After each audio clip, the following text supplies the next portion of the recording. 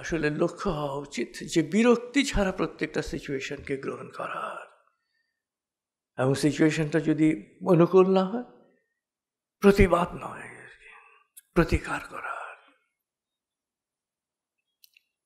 প্রতিবাদ এবং প্রতিকার। মহামানবরা সবসময় প্রতিকার করেছেন।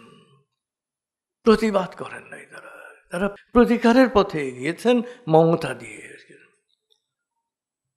আসলে আমরা সুন্নত সুন্নত বলি আর কি যে সবাই বলেন সুন্নত সুন্নত সুন্নত কি আর কি? রসুল্লাহ আসলাম কিন্তু খুব পরিষ্কারভাবে বলেছেন যে সুন্নত কি। তিনি বলেছেন যে কারও বিরুদ্ধে তোমার মনে কোনো বিদ্বেষ থাকবে না বা কোনো অকল্যাণ কামনা থাকবে না। এটাই হচ্ছে আমার সুন্নত। যে আমার সুন্নতকে ভালোবাসলো, সে আমাকে ভালোবাসলো। যে আমাকে ভালোবাসলো, সে জান্নাতে আমার সাথে থাকবে।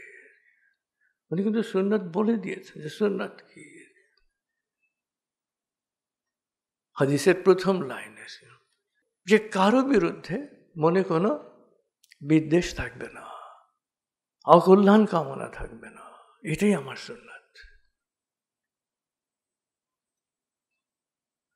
অর্থাৎ স্পেসিফিক্যালি তিনি বলেছেন যে এইটা এই সুন্নাত।